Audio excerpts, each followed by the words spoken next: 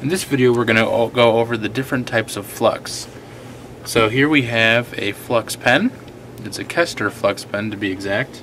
We have our flux paste and we have our actual solder. Now you might be asking yourself, well why are you showing me that? That doesn't look like flux. Well all solder uh, has is essentially carved out on the inside and contains flux inside the wire itself.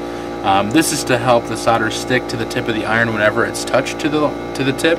Um, it also helps to, well, it's flux is what it is really, and, and it, they just incorporate it inside the wire, so then that way you don't have to worry about adding more flux to a specific area, um, as it's already included in the wire. Now, I'll tell you that most of the time this will burn away whenever soldering, so it's always good to have some extra flux on hand. Um, but assuming that your the surface you're working on and your tip are clean, you can get away with just using this. However, I do like to use some extra flux at times just to make sure that the surface is cleaned. Uh, and depending on the flux you're using, flux can also help keep the components in place while you're soldering. So putting that aside, here we have our flux pen. So this is works just like a regular pen would or a permanent marker as you unscrew the tip and here you have um, the actual uh, the tip of the pen here which is soaked with flux. As you can see on the inside there we have flux inside the pen.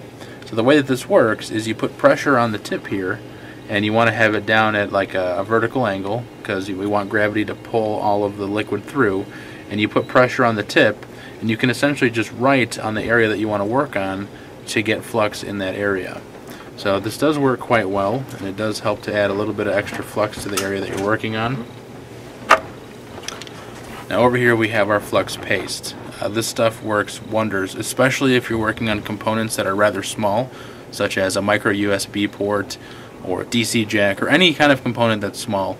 Uh, these also work great for diodes, by the way.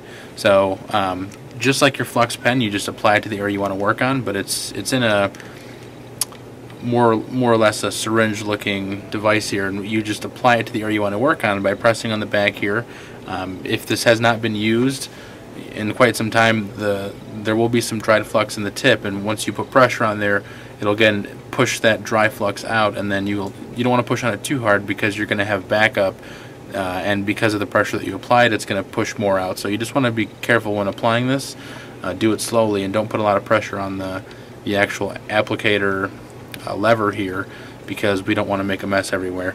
So you just apply this to the area that you want to work on. You don't really have to use a lot. And once it's done and you've applied enough, you can then go ahead and place your components on there.